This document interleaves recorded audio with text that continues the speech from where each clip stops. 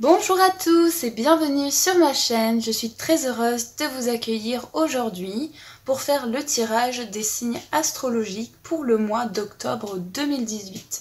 Donc j'ai mis dans une petite pochette les signes astrologiques et je vais piocher au hasard un signe.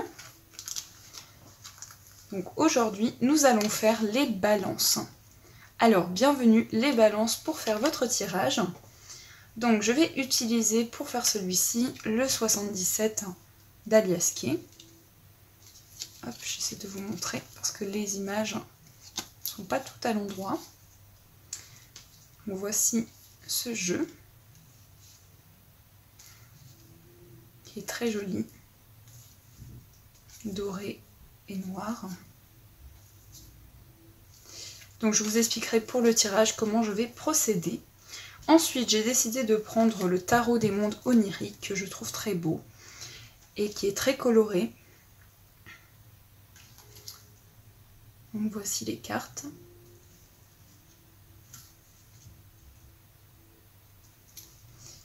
Il est vraiment très doux comme vous pouvez le voir. Avec plein de détails, comme sur cette carte par exemple. Je ne sais pas si vous voyez bien. Donc je vais tirer une carte et je vous dirai le conseil qui l'accompagne. Et enfin, j'ai décidé de prendre l'oracle de Gaïa, qui est un oracle avec des peintures. Et donc chaque carte, nous avons une peinture représentée. Elles sont très belles. Donc je tirerai une carte, je vous lirai le message et le texte qui l'accompagne. Alors les ballons, je commence votre tirage. Donc ce tirage est aussi pour les ascendants et les signes lunaires balance. Donc quand les vidéos seront postées, n'hésitez pas à les compléter avec votre ascendant et votre signe lunaire. Alors on va voir un petit peu qu'est-ce qui ressort pour vous.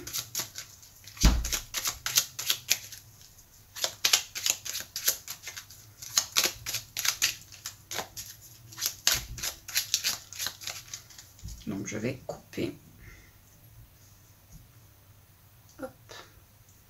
Alors nous avons la carte 38 et la carte 1. Alors dans cette coupe, pour certaines balances, euh, ça nous parle ici d'une dépendance qui s'arrête. Donc peut-être que vous êtes dépendant à une personne, à une substance.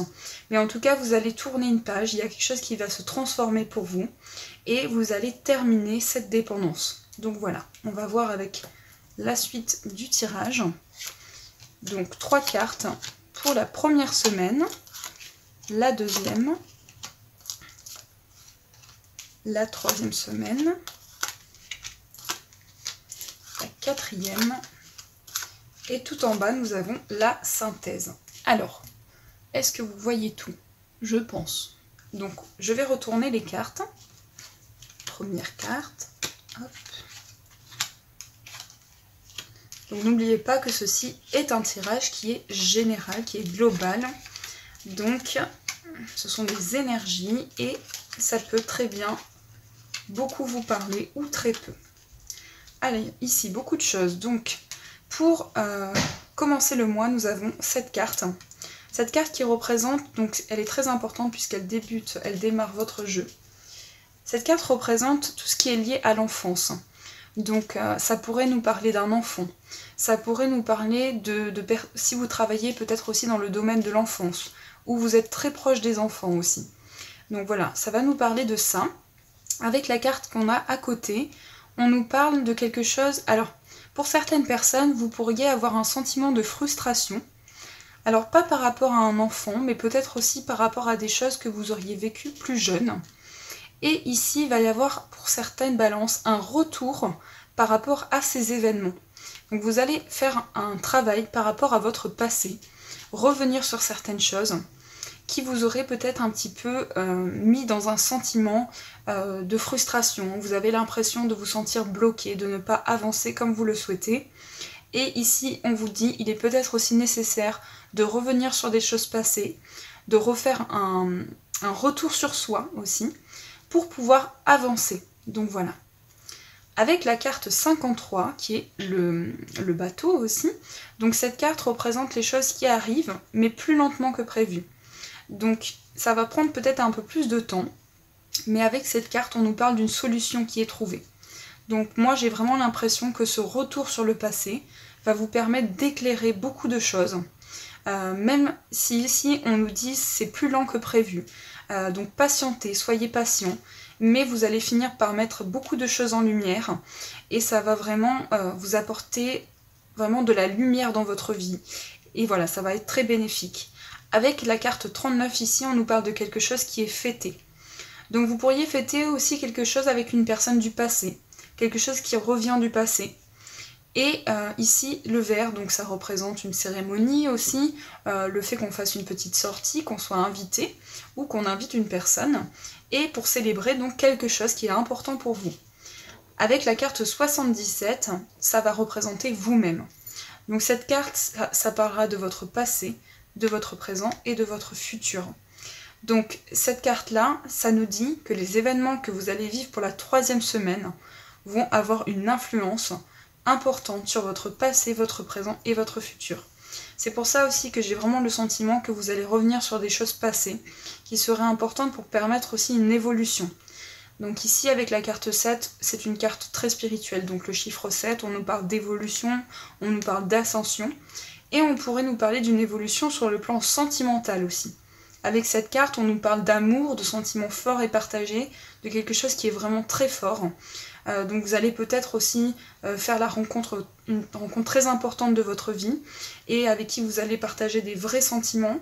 Ça va être aussi peut-être le fait que vous allez vraiment vivre des choses avec une personne, la personne que vous aimez. Et euh, ici, ça nous parle d'amour très fort. Avec cette carte-là, la carte de l'homme, donc ça va représenter l'homme le plus proche de vous si vous êtes une femme. Et si vous êtes un homme, eh bien vous ressortez deux fois dans le tirage, puisque c'est la carte du consultant et la carte de l'homme. Donc vous êtes très présent dans ce tirage. On nous parle pour la quatrième semaine, on nous parle d'argent. Donc vous attendez peut-être des réponses aussi sur le plan matériel. Et ici, ça nous parle d'une signature concernant quelque chose qui met, euh, qui met en lien avec de l'argent. Donc ici, ça pourrait être le, la vente d'un bien, ça pourrait être de l'argent que vous attendez, vous attendez de signer quelque chose, un accord, un contrat. Au niveau du travail aussi, on pourrait nous parler d'un contrat qui est signé et qui va vraiment vous apporter de l'argent. Avec la carte synthèse, c'est une très belle carte, donc ici on vous dit oui. Donc euh, pour moi, euh, pour vous les balances ici, par rapport à, mon ressenti. On vous dit ici oui pour vos projets, euh, oui pour ce que vous souhaitez. Ça nous dit oui aussi sur le plan matériel. Et donc, vous pourriez aussi avoir des projets avec un homme, donc à deux, euh, par rapport à des projets financiers. Donc peut-être que vous souhaitez faire des projets en commun aussi. Et ici, vraiment, il y a quelque chose de très positif. C'est la carte synthèse, donc elle est très importante. Il y a vraiment des choses positives qui vont arriver pour vous au mois d'octobre. Donc voilà, et je vous le souhaite de tout cœur. Alors, je continue donc avec le tarot.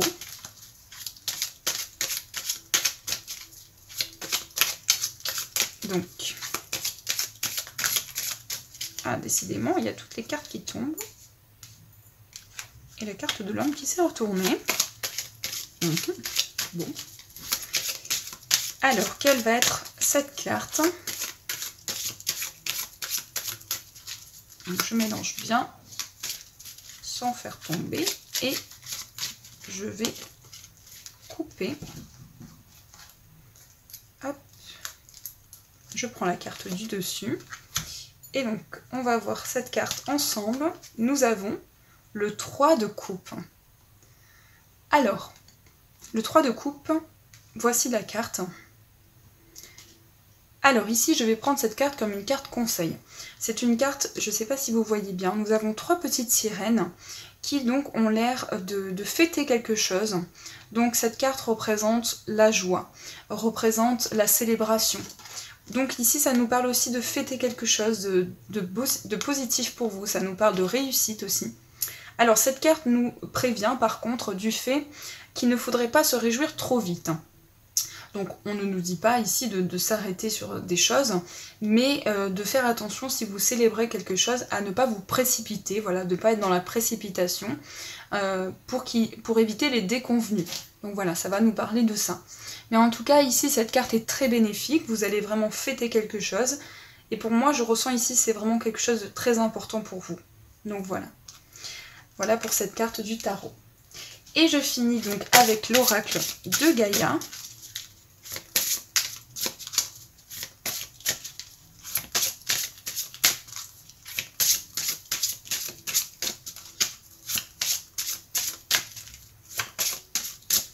Hop, je coupe. Et toujours donc la carte du dessus qui est suspense. Nous avons souvenir. Alors pour vous, on nous dit des émotions passées refont surface. voici la carte. Et oui, donc ça nous parle aussi avec la carte de, de la flèche du passé. Des émotions passées qui refont surface dans votre vie. C'est la carte numéro 21. Donc je vous laisse regarder cette carte qui est très parlante, je trouve. Et je vais vous lire le message qui l'accompagne. On dit parfois que tout ce que nous possédons est le présent. C'est sans doute vrai, mais il est également vrai que par nature, le passé, le présent et le futur ne font qu'un. Nous sommes toujours reliés énergétiquement au passé et au futur. La vie est affaire d'évolution, et là où nous en sommes aujourd'hui est le résultat de là où nous étions. Cette carte signifie que des sentiments pardon, et des émotions passées sont en train d'émerger des profondeurs de votre être. Vous vous sentirez bousculé pendant quelques jours. Ne luttez pas, car il n'y a rien à craindre. Se remémorer et honorer le passé de temps à autre est important, car il fait partie de nous et de notre voyage spirituel. Ne négligez pas de rendre hommage aux bons comme aux mauvais souvenirs, car chacune de ces expériences vous a aidé à étendre votre compréhension et votre appréhension de la vie. Réfléchir de temps à autre à son passé est une pratique saine, de même que penser au futur est sage. Toutefois, s'en préoccuper outre mesure ne ferait que vous voler le plaisir de l'instant présent.